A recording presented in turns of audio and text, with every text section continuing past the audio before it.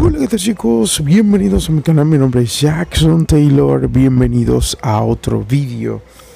Y hoy estoy muy contento por, vamos a analizar lo que es la próxima nueva clase que se nos viene pronto. Solamente le puedo adelantar chicos, para que no me llenen los comentarios, Jackson, ¿cuándo va a salir? No lo puedo decir, pero sí le puedo eh, informar de que será más pronto de lo que ustedes imaginan. Así que estoy muy contento por eso. Quiero hacer este vídeo con todo el conocimiento que tenemos como jugador hasta ahora en Diablo Inmortal, con todos los objetos que conocemos, con todas las gemas, incluso nuevas y la gema que ya estaban, que conocemos también, por la forma de juego de varias personas, incluso con nuestra clase cruzado que se juega de muchas maneras diferentes eh, y entendiendo las habilidades de la nueva clase que la vamos a estudiar ahora, ¿cuáles serían las mejores gemas? O sea, ¿cuál sería la mejor manera de equipar esa nueva clase cuando se nos venga?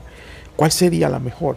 ¿Cuáles serían los mejores sujetos secundarios para, para que combinado con sus habilidades explote en daño esa nueva clase?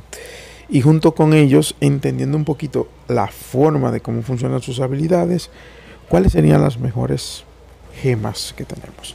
Como este canal está enfocado en lo free to play, vamos a centrarnos en free to play. Sabemos que las gemas de 5 estrellas, cuáles son las más potentes. Así que vamos con los objetos secundarios legendarios. Y obviamente yo le agregaría, eh, si lo comienzo a jugar esa nueva clase, dos piezas de la charlatana porque ya sabemos que el escudo que genera la charlatana, esos nueve segundos que te dura, te salvan la vida en muchas ocasiones, así que sería lo mejor. También le agregaría dos piezas de la gracia del fragelante para el daño continuo, que lo vamos a ver más adelante, que tiene bastante esta clase, mucho daño constante y mucho daño persistente va a tener esta clase. Entonces estos 15% nos van a servir para explotarlo más de daño. Y por último le agregaría dos piezas más de Vitus. Que lo que va a hacer es que va a incrementar un 30% la duración de efecto de eh, beneficioso a nosotros y a nuestro equipo. Van a ver que esta clase es muy extrañita, es muy curiosa, porque es una clase que la vamos a poder jugar de dos maneras. Vamos a poder jugar como ofensivo, como atacante, y vamos a poder utilizarla como soporte. Esos serían los las dos roles más fuertes que tiene esta clase, realmente, más fuerte que tiene. Porque tiene bastante habilidades de beneficioso y de efecto de control hacia los enemigos. Y también vamos, y también vamos a esperar que pase este, este avión. Bien chicos, tiene bastante habilidad para hacer mucho daño. Entonces, por lo tanto, para mi entender, esta clase se va a poder utilizar de dos maneras diferentes, tanto en PvP como en PvE. Sería bueno como support y sería bueno también como atacante. Como atacante. Entonces, vamos con sus habilidades. Vamos a comenzar con las dos primeras habilidades, que sería, puñalada, que lo que hace es que si el o sea, cuando el enemigo eh, cuando tú eliges al enemigo para atacarlo, puedes correr hacia él y, hacerle un ataque, ¿no? Lanzarte hacia él y pegarle bastante daño. Y luego eh, apuñalar y aplastar, lo que hace es que atraviesa al enemigo con la pica, con la lanza, y luego, o sea, le eh, le hace daño en ese momento que lo atraviesa, pero luego también puedes eh, tirarlo al suelo y aplicarle más daño y aturdirlo.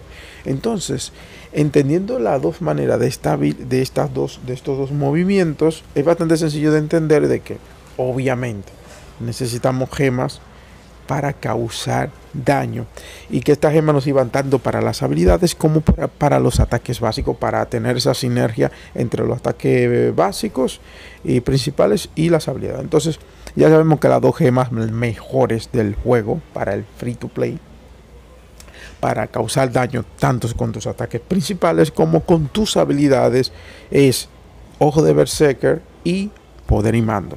O sea, son dos gemas que prácticamente vinieron para quedarse. Son gemas que siempre están en el meta y no van a salir del meta, se lo digo yo, jamás van a salir del meta. Están pensados para eso, para que sean gemas bastante buenas tanto para el free to play como para el pay to win, pero más para el free to play, que son gemas prácticamente que la podemos considerar de 5 estrellas por los beneficios que.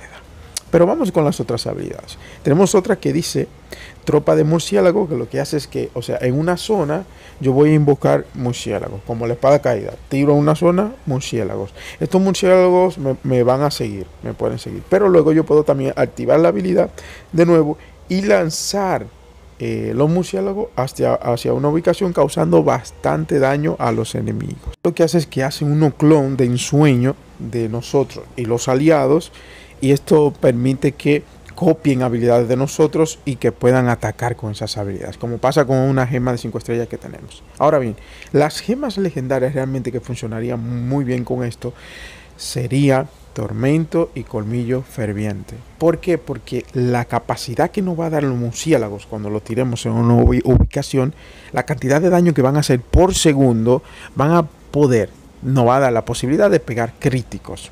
Estos críticos se va a activar el tormento, el sangrado y también nos va a permitir que cada vez que golpeen los murciélagos el colmillo vaya cargando, teniendo una carga. Recuerden que lo máximo son 10 cargas. Entonces vamos a conseguir la carga muy rápido, vamos a tener mucho daño y mucho sangrado también con el tormento. Entonces el daño se va a incrementar. Otras habilidades que tiene también, que aquí vamos con tres y la vamos a leer despacio para poder, eh, esta la vamos a leer un poco rápido.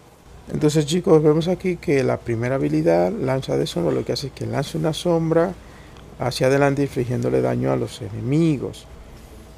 Si la mantiene pulsada, la puede tirarle de, como que la carga y la lanza más lejos. Bien, solo daño a distancia, corta distancia. También tenemos eh, borde oscuro, que lo que hace es si el enemigo huye de ti, lanza un, eh, o sea, coge una, crea una lanza de, sangre y la, y la arroja. Pero si está cerca de ti, entonces en vez de crear una lanza, crea una espada de, sangre y hace daño al enemigo. Y por último, tenemos, tenemos, chicos, el barrido rotatorio, que lo que hace es que va a tomar la lanza hacia adelante, la va a girar, la puedes girar tres veces. O sea, va a ser como el bárbaro, que tú puedes girar varias veces mientras tengas cargas. Esta te la puedes activar tres veces. Gira, gira, gira, haciendo daño. Y puedes caminar mientras lo hace. Eh, ir avanzando. La cuestión es que si nos fijamos, estas habilidades van a pegar a enemigos, pero no a gran cantidad de enemigos en PvP.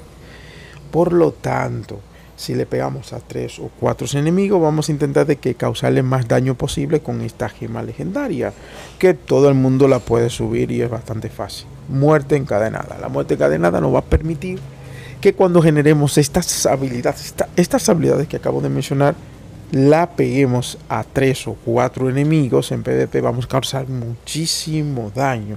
Porque estas habilidades se ven bastante potentes y van a ser habilidades bastante utilizadas con la clase. Porque tienen un daño tremendo. Un daño tremendo y además son bastante efectivas cuando nos pegamos a causar daño a enemigos a melee, a un bárbaro, un cruzado, un monje.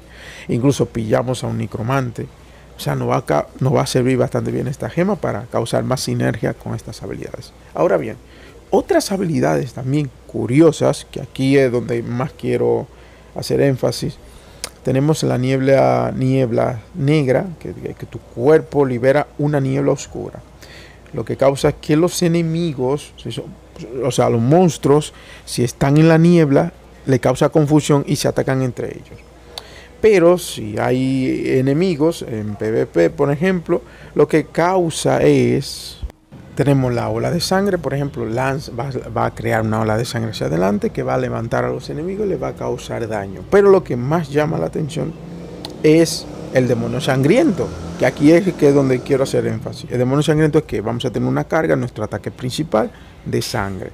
Cuando la sangre llega al máximo, activamos nuestro último. Nuestro último es que nos transformamos en un demonio de sangre y causamos daño, más daño a los enemigos. Pero no sabemos si el daño que vamos a causar va a ser a distancia, con ataque a distancia, o sea, podemos lanzar ondas de, la lanza o lanzar lanzas más rápido. No sabemos si los ataques van a ser solamente cuerpo a cuerpo o también a distancia. Pero aún así, si el último es demasiado roto, si el último está rotísimo, entonces necesitamos esta gema sí o sí. Necesitamos la gema de Kaiser para poder tener más velocidad de ataque, nuestro ataque principal, y poder generar este ultimate más frecuente. Porque recordemos que hay clases dentro del juego que su ultimate es totalmente roto. Por, por ejemplo, el Demon Hunter en PvP tiene su ultimate, hace un daño loquísimo, loquísimo el ultimate. Eh, bárbaro también. El monje súper rápido causando daño. Entonces, hay clases dentro del juego que con el último están totalmente rotas. Y si esta habilidad, además de que sea grande el demonio, que cause daño a distancia y a corta distancia, eh, en daño sea brutal, creo que esta gema va a ir de maravilla para poder explotar eso. Y en la ola de sangre, obviamente, con todas las gemas que hemos mencionado anteriormente, no van a servir más los objetos secundarios potentes. Ahora, para cerrar con estas ah, habilidades, vamos con las últimas, que serían esta. Tenemos conducto oscuro, que lo que hace es que dispara unas venas de sangre hacia adelante, eh, algo similar como el bárbaro cuando lanza como unas cadenas. Eh, eh, cuando la lanza le causa daño y también lo va a unir, como pasa con la habilidad de cadena del cruzado, que tú la lanzas y tiene una pieza legendaria que em, lo puede unir a los enemigos. Entonces lo vas a traer hacia ti causándole daño. Y luego tenemos eh, chupa sangre. Tenemos que continuamente estará drenando sangre de los enemigos. Y esto nos va a permitir hacer daño y a la vez regenerar nuestra vida. Y esta va a ser una de las habilidades que nunca se va a quitar de la clase. O sea, cuando la estemos utilizando, siempre esta habilidad va a estar. Chupa sangre, siempre. Porque con otras piezas legendarias que vayan llegando, la habilidad va por potenciarse mucho más. Entonces, ¿qué nos está diciendo esto? Que esta gema, que esto lo quería anunciar también, esta gema, primero vamos, la gema de dos estrellas, la hambruna, es una gema hecha para esta clase, porque lo que hace es que cuando tú matas un enemigo, te recupera un montón de vida, un montón de vida. Lo malo que esto pasa cada tantos segundos. Pero eh, mientras vamos subiendo la gema, la cantidad de vida que podemos recuperar es tremenda, tremenda. Pero lo interesante es que esta gema de dos estrellas, pero cuando salga esta clase o cuando esté a punto de salir, se va a anunciar una gema, la gema de la hambruna, pero de cinco estrellas. ¿A qué me refiero a la gema de la hambruna? Que son gemas, o sea, que son similares pero más potentes. Por ejemplo, tenemos alma desafiante, que es una gema que cuando bloqueamos causamos muchísimo daño a, en área. Pero tenemos bendición de los valientes, que es una gema que hace daño en área, pero más grande y más potente. Entonces, esto mismo va a pasar con el guerrero de sangre, que eh, va a salir una gema de 5 estrellas, que también te va a permitir regenerar vida, pero de una manera más bestial. De una manera más bestial. Entonces, eh, para obviamente que tenga sinergia con estas habilidades y sinergia con la clase, que es el, guerrero sangriento, que es un vampiro. Bien, es un vampiro. Entonces hasta ahora esta es la información que quería traerle a ustedes. Espero que les haya gustado y espero que apoyen estos tipos de vídeos para seguir trayéndole más contenido, chicos. Eh, estoy muy contento por todo su apoyo, pero si me dejan un like me apoya muchísimo. Si comparten el vídeo me ayuda más todavía. Y espero que les haya gustado. Sin más me despido. Mi nombre es Jackson Taylor. Se me cuidan chicos. Adiós.